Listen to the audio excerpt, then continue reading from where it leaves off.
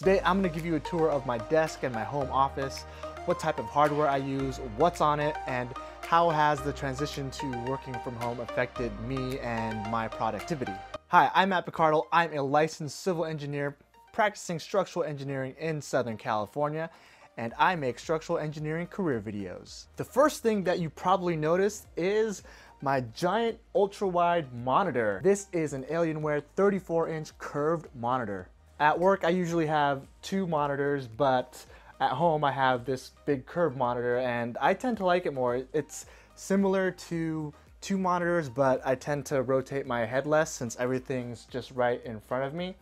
And I can customize the windows a lot better than I can when just having two monitors. So I can have them uh, triple screened, uh, one giant screen, uh, maybe 75% and 25% on the other. And if you're wondering if there's any adjustment to having a curved monitor versus a flat monitor, I honestly never even noticed when I transitioned to it. So I tend to like it more, but it, it is up to you. I, I suggest you try them and see which one you prefer. For the computers I'm using, my work laptop is a Dell Precision 5530. And for my home computer, this is a custom uh, workstation built by my brother. And it's basically my video editing uh, computer at home. As you can see from my desk, I only have one set of keyboards and mouse. And this is what I use to control both uh, my, my custom workstation and my work laptop. So right now, right here, this is my editing workstation, my home computer. This is what I use to pretty much edit my videos at home. But if I wanna switch to my work laptop, I use a, a USB switch, or they call it a, a sharing switch. This one, the one that I have particularly is a, a Ugreen USB 3.0 sharing switch selector. You can probably find similar products like that on Amazon. But pretty much in order to switch to my work laptop, I pretty much just press the button and that'll switch controls to my work laptop and I just pretty much change the monitor settings, change the input. And there we go. I'm on my work laptop and using the same mouse and keyboard. The switch device, the way that works is I basically have one USB cable over here and I have the monitor input over here attached to the power cord also. Quick tip to organize your desk for any wires that you frequently use. I tend to use these cable clips that I have attached to the side of my desk and they basically hold your wires in place in case you need quick access to them. For my mouse at work, I still have a Logitech G600 with all the buttons, the one with the a lot of buttons. But at home, I wanted something more wireless, and the closest thing that I could find to the the G600 was a, is a UtechSmart Venus Pro RGB. Pretty much this thing. It's pretty similar. The quality is not as great as the Logitech G600, but it's wireless and it pretty much has the same amount of buttons and it gets the work done. For my keyboard, I'm using a Logitech G513. It's basically a mechanical keyboard. I tend to like the, the feel of the mechanical keyboard and the way it types a little bit better than the traditional keyboards.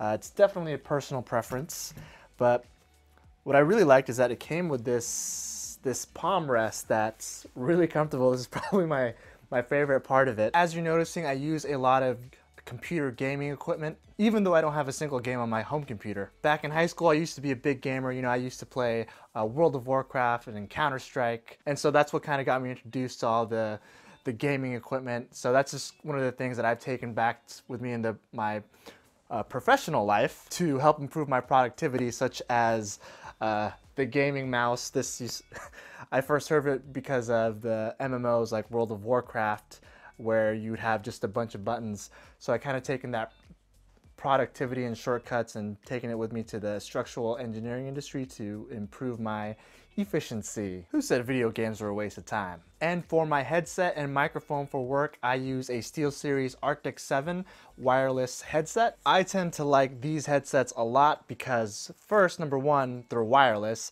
and number two, I tend to wear my glasses a lot when I'm uh, in front of the computer a lot. And with regular headphones, if I'm on there for hours, these, the the cushions tend to uh, put pressure on the glasses and it kind of gets irritating.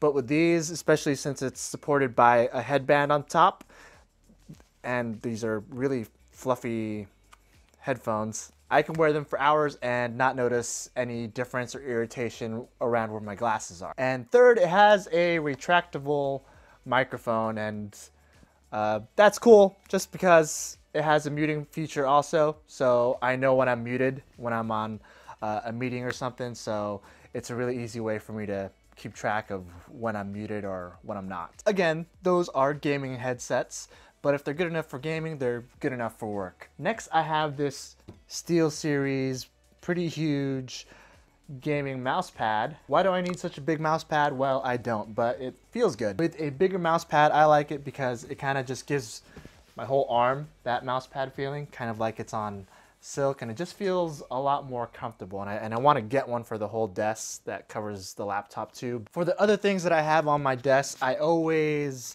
have a notebook. I find it very useful for whenever I need to write something down, especially when I'm talking to someone or talking to them on the phone or just having go, going to meetings. So even with all the technology we have, I still prefer to use a handy notebook. And of course, I have graph paper. This is pretty much where I do all my, my calcs and a lot of the sketches, especially when I'm communicating ideas uh, to other people. Just having a, a notepad to sketch on just to show your concept really quick with a, a pen or pencil uh, really helps. And my weapon of choice for my hand calcs, I use a TI-36X Pro calculator. I have uh, two of these. I have another one at work and I really like this one just because it has the square root function. You can do the fractions um, and brackets really easily on this. And I can take it with me to my licensing exam. So I definitely recommend it, especially if you're in the US and you'll eventually have to take your licensing exams also. And I also have a straight edge and black, blue, red, and green pens for communicating my sketches. So the cool decoration that I have on my desk is a MOLA structure. This is basically a structural engineering learning kit. And when I was putting this together, it kind of brought me back to when I was playing with Legos, you know, constructing the model. But what's really cool about this is a, it's a great way to explain concepts and actually see structural engineering concepts in action. So for example, you can see what happens when you have structural engineering braces, during an earthquake, how it's pretty stable. Well, what happens if you don't have structural engineering inside? Let's say you take out the braces, it's still standing up, but what happens when it has uh, wind forces or an earthquake? Well, you didn't have your braces, so your building falls down. So it's a really cool way to see these concepts in action instead of just through a computer program. Like many of you, I was told to work from home, so I pretty much got all my books or a lot of my books that I really needed and just put them in a cart, took them with me back to my home office and dumped them all over here. It's right here. Let me show you.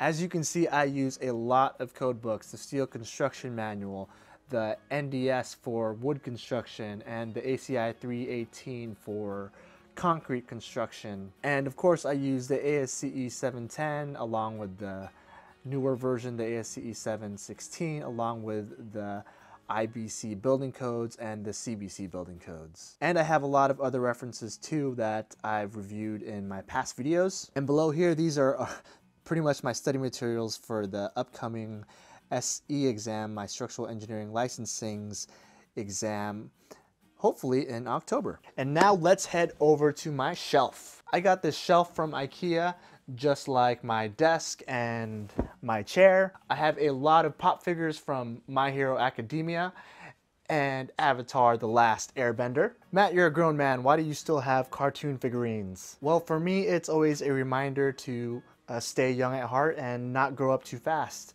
Uh, a lot of the things in the world, it can get very serious. You know, my job's serious. But it's always important to take a step back and not take yourself too seriously and to always be curious you know, once you think you know everything, that's when you lose. I have these multicolored bricks, and if you went to the ASCE Leadership Symposium, you'll know what those are. Those are basically your personality type. Uh, blue is pretty much me, a natural introvert engineer with tertiary extrovert qualities. And these are my personal development books. I highly believe in personal development. I think they fill in all the gaps that school doesn't teach you. And it's a great way to see what success looks like because a lot of successful people, you can see what their core values are, what they actually done to get where they are today. And those are just my hard copies. I have a lot of audiobooks that I listen to that haven't even made it to my shelf. And this is a bolt from one of my first site visits. It was a steel construction project and one of the first things that I saw was like, oh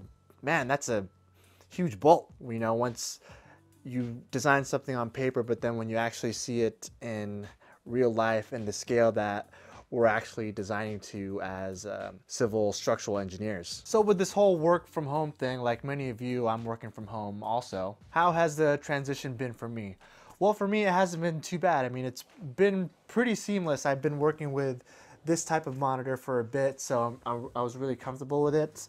And just setting up the laptop and having everything plugged in, we got a great VPN network and in order to communicate our drawings, we use uh, Bluebeam Session a lot. It's basically a, a cloud for any markups that we want to pick up and get in our drawings. So it's been really easy to communicate that way and Microsoft Teams is great whenever you just want to chat with people real quick or ask them a question or even just doing video chat. Video chat seems to help a lot more with the communication. It tends to be a lot better than the phone and of course the screen sharing makes it really easy. So with all the technology that we have and all the hardware that we have, I haven't really seen a drop in productivity. I think we're just adapting and changing to the way things are right now. And if we need to, this is the way we'll continue on. But I don't think anything can really replace that one-on-one -on -one meeting that you're having with your manager or with a new engineer that you're trying to teach. And for my productivity software or apps that I use, I use Trello